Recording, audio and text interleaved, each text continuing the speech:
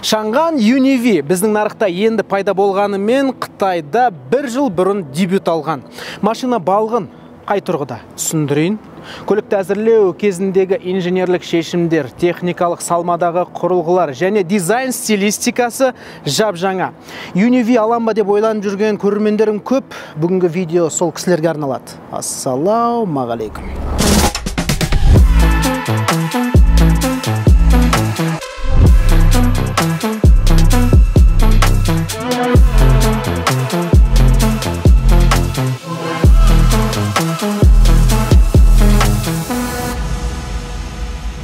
Компания туралы айтуға ұялмайсың. Өндіріс ошағында R&D орталығында болдым. Басқа қытайлар зауытты көрсете алмаймыз кешіріңіз деп қашып жүргенде чанган кел олжас қалай жұмыс істейтінімізді көр деп өндіріс процесін тамашалауға мүмкіндік берді. Жігіттер автоматизация деңгейін айта алмаймын енді. Адам үлесі азайған сайын дәлдік артып қате жіберу ықтималдығы төмендейді юниви өндірілетін чунсендегі зауытта автоматизация деңгейі 92 процент. Бір қарағанда Hyundai Elantраның бәсекелесі өйткені көлемі ұқсас. Ұзындығы 4680 ені 1838 екі ось арасында 2750 мм бір нәрсені ұғып алайық. Чанган юниви Elantra секілді седан емес. Лифтбэк. Жүк салғыш қақпағы артқы әйнегімен бірге ашылады.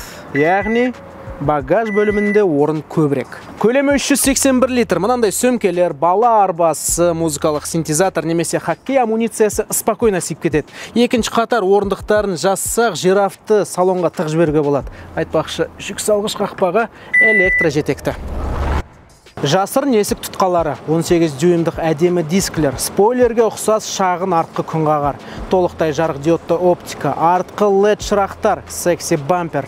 Көркемдік детальда жасырылған. Осының барлығы мағанда назар аударшы басқадан қай жерім кем деп сөйлеп тұр. Юниви біздің нарықта агрессивті спорттық бамперсіз сатылады. Неге екенін білем? Өйткені модельдің 2 литр турбо модификациясы бар. Дизайнер бертрам бах молодец чаңғаның өзіндік стилі қалыптасып келе жатыр. Сығыр көз шамдары қырлы детальдары және футуристикалық сұлбасы көзге жатталды. Ал интерьер дизайны чанган юникей ағасының секілді. Көреміз бе? Оппа мінекей. Мұнда да тік төрт бұрышталған меңгерік жиегінде саймандар панелі көрінеді. Классикалық технологиядан ештеңе қалмады. Сол жақтағы монитор уақыт пен ауа температурасын көрсетеді. Ортада спидометр мен тахометр оң жақта сұйық отын мен су температурасының индикаторы. 10 дюймдық медиа система экраны төменірек орналасқан. Салон материалдары жұмсақ. Біз әбден үйреніп кеткен қатты пластик минимум. Панорамалы шатыр наппа былғарысы амбиент жарықтары ожау орындықтар. Тек қана орталық консольдің төменгі қабатындағы бос орын пайдасы секілді. Әңгіме жоқ мынандай артық зат қоюға болады. Бірақ көзге көрінбеген соң оның бар екенін ұмытып кетесің. Қараңғыда түбінде орналасқан USB портқа жету қиын.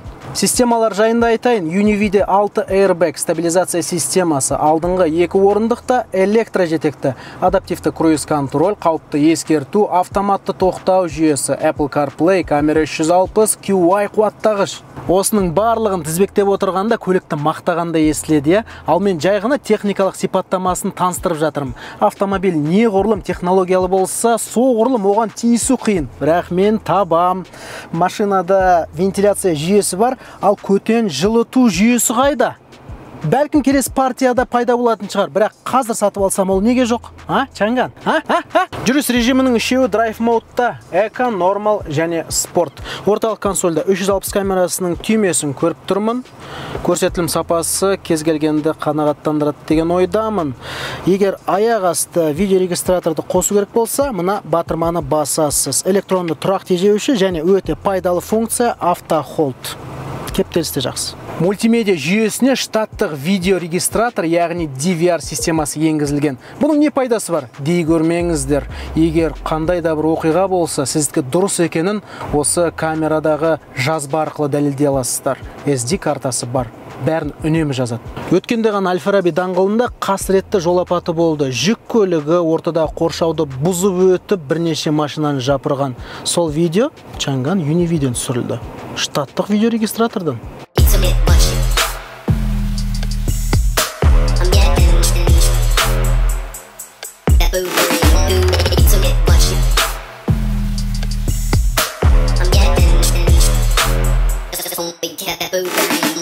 Қытайлар сапалы седан ұсынып жатқаны қуантады. Әйтпесе өңшең кроссоверлер қаптап кетті. Бағасы 12 миллион 990 мың теңге. Конкуренция бағаға қатты әсер етіп жатыр. Қазір 500 мың теңге жеңілдікпен сатып алуға болады деп естідім. Бәрімізге маза бермейтін көкейдегі сұрақ осы қытайлар қаншалықты шыдамды? Ресурсы қандай? Уақыт көрсетеді бәрін. Тексеретін чекпоинтқа әлі жеткен жоқпыз. Алайда реніш білдіріп рекламация жасаған көлік иелерін байқамадым.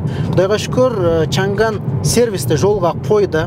Қоймада бөлшектер жетеді. Ендеше гарантиясы болса неден қорқамыз әке? Бұл жалғанда иә мотор қарқынды турбо үдеткіші бар. 1,5 литрлі қозғалтқышы 181 ат күшін және 300 ньютон метр момент береді. Арасында таксобайттайтын отбасылық автомобиль үшін былай. Трансмиссиясы жеті сатылы робот. Айлық түскенде ақша жұмсайтын әйелінен жылдам жұмыс істейді. Практикада екі дымқыл ілінісу құрғақ бір сцеплениядан жақсы. Мысалы екінші адыммен кетіп бара жатқанда үшінші саты дайын тұрады. Алайда мұндай трансмиссияға дер кезіндегі профилактика керек. Ә, мерзімді диагностика жасап отырсаңыз бұған дым болмайды. Ең бастысы күтім. Юнивидің максималды жылдамдығы 205 шақырым ал 100-ге динамикасы 7-де 1 бұл өте жақсы көрсеткіш. Шасси жақсы бапталған. Алдында стандартты макферсон артында тәуелсіз көп интеллектті аспа қытайлар бұдан да аямапты.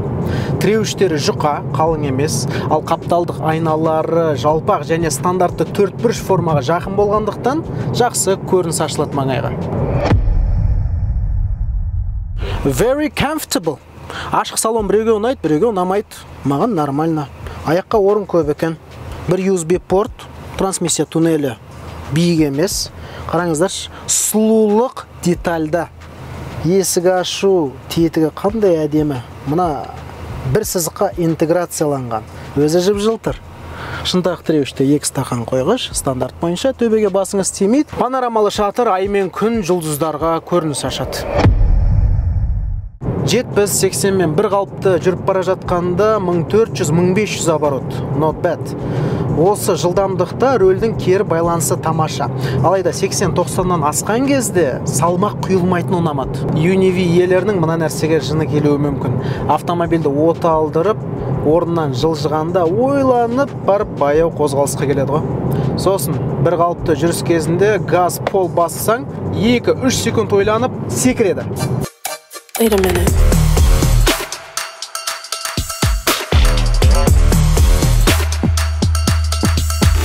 Wait a minute.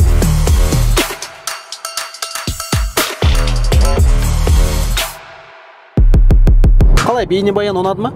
Ұнаса арнаға жазылып лайк басып пікір қалдырыңыздаршы. Соңғы кезде YouTube қазақ тілін қолдамай жатыр әкең ауыз сүйген. Қасарысып осы видеоның сілтемесін WhatsApp чаттарда таратып жіберейік. Сол кезде көмектеріңіз қатты тиеді. Ал мен сіздерді жаңа видеолармен қуантып жүре беремін. Келесіде көріскенше аман сау болайық.